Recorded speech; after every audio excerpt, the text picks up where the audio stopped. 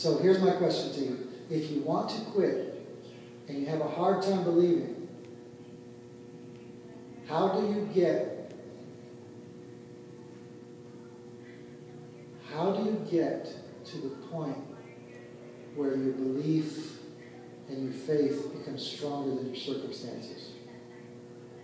The answer is by humbling yourself before God and allowing your heart to be tender.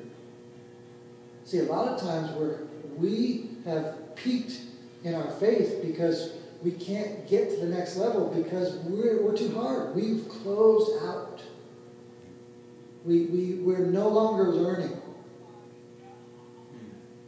We're no longer learning. We have hardened our hearts, we've stiffened our necks, and we're, we're done. And as Myles Munroe says, if you think you've learned it all, then you can't learn anything new. Once you think you know it all, your, your growth potential is done. And if you allow what you know to limit what you could know, you're in trouble. And so, what I'm saying is, is that to, it, there is a way. See, this is the beautiful thing about redemption, is Jesus said that the way to access this thing is through belief, which is something everyone has the potential to do. It, it's not based on how much money you make, because if it was, if getting in the kingdom was based on how much money you make, if it was a high number, a lot of us would be in trouble. We could never get there. If it was based on the good deeds you do, I wouldn't be standing here. If, if, if it was based on the color of your skin, then that would exclude people who aren't that color.